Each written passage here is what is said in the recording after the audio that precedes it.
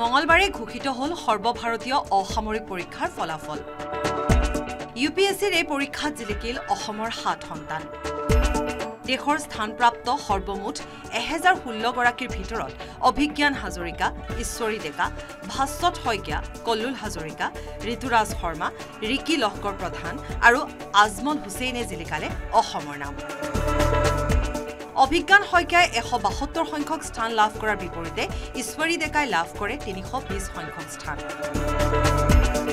ইফালে ভাস্বত শইকীয়াই পাঁচশ বাৱন্ন সংখ্যক স্থান কল্লোল হাজৰিকাই নশ বিৰান্নব্বৈ সংখ্যক স্থান ৰিকি লহকৰ প্ৰধানে দুশ ত্ৰিছ সংখ্যক স্থান আৰু আজমল হুছেইনে এহেজাৰ তেৰ সংখ্যক স্থান লাভ কৰিবলৈ সক্ষম হয়।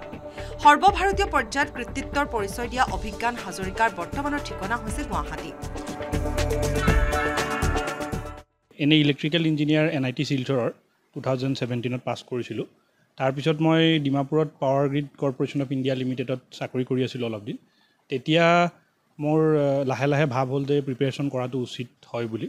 আৰু তাৰপিছত মই দুহেজাৰ বিছ চনত চাকৰি এৰি তেতিয়াৰ পৰা মই প্ৰিপেৰেশ্যন কৰি আছোঁ প্ৰায় চাৰে তিনি চাৰি বছৰ হৈছে। আনহাতে ঈশ্বৰী ডেকাৰ ঘৰ তেজপুৰত।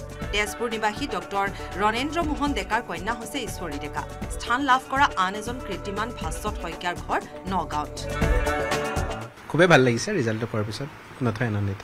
আপুনি কোচিং কৰিছিলে ক'ৰবাত? কোচিং মই অফলাইন কোচিং তেনেকৈ কৰি পেলাই কৰা নাই। অনলাইন ৰিচৰ্চেছ ৰেফাৰ কৰিছিলোঁ মেক্সিমাম আৰু আপুনি ইয়াৰ পূৰ্বে আপুনি কি কি কোন বিষয়ত পঢ়িছিলে? আপুনি অঁ মই একচুৱেলি বি টেক কৰিছিলোঁ আই আই টি গুৱাহাটীৰ পৰা চিভিল ইঞ্জিনিয়াৰিঙত মেথছ মাইনৰ তাৰপিছতে চিটি গ্ৰুপত চাকৰি কৰিলোঁ তিনি বছৰ। এজ এ ছফ্টৱেৰ ডেভেলপাৰ তাৰপিছত U P S C preparation start কৰিছোঁ। আনহাতে স্থানপ্ৰাপ্ত কল্লোল হাজৰিকাৰ ঘৰ ধেমাজি জিলাৰ গোগামুখৰ সোণোৱাল গাঁৱত।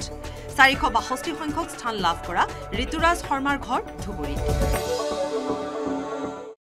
ভাল লাগিছে। I am humbled I am grateful to everybody যোনে মোক এনে ছাপৰ্ট কৰিছে যে মোৰ মা মোৰ ফ্ৰেণ্ডছ মোৰ এক্সটেণ্ডেড ফেমিলি বন্ধু বান্ধৱী মোৰ মেণ্টাৰ্ছ যিসকলে এই ইয়ালৈকে আহিবলৈ মোক হেল্প কৰিছে। Thank you for I am also' thankful to God ভগৱানে চকু মেলি চাইছে। বৰপেটা ৰোড অঞ্চললৈ গৌৰৱ কঢ়িয়ালে আজমল হুছেইনে উল্লেখযোগ্য যে আজি ঘোষণা কৰা পৰীক্ষাত প্ৰথম স্থান লাভ কৰিছে লক্ষ্ণৌৰ আদিত্য শ্ৰীবাস্তৱে। আনহাতে দ্বিতীয় স্থান দখল কৰিছে অনিমেশ প্ৰধানে। তৃতীয় স্থান দখল কৰে অনন্যা দেৱীয়ে। Bureau' report News Eighteen Assam North East.